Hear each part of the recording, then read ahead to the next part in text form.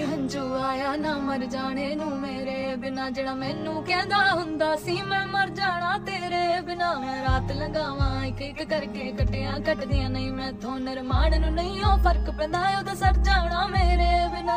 ਇੱਕ ਵੀ ਹੰਝੂ ਆਇਆ, ਨਾ ਮਰ ਜਾਣੇ ਨੂੰ ਮੇਰੇ ਬਿਨਾ। ਜਿਹੜਾ ਮੈਨੂੰ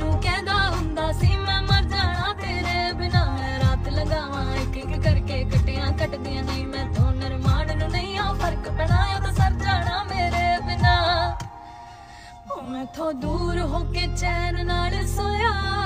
ਉਹਨੂੰ ਕੀ ਪਤਾ ਕੀ ਹਾਲ ਮੇਰਾ ਹੋਇਆ?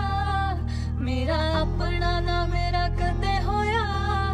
ਕੋਈ ਸੀ ਜਿਹਦੇ ਪਿੱਛੇ ਦਿਲ ਰੋਇਆ? ਕੋਈ ਸੀ, ਹਾਂ ਮੇਰਾ ਕੋਈ ਸੀ। ਕੋਈ ਸੀ, ਹਾਂ ਮੇਰਾ ਕੋਈ ਸੀ।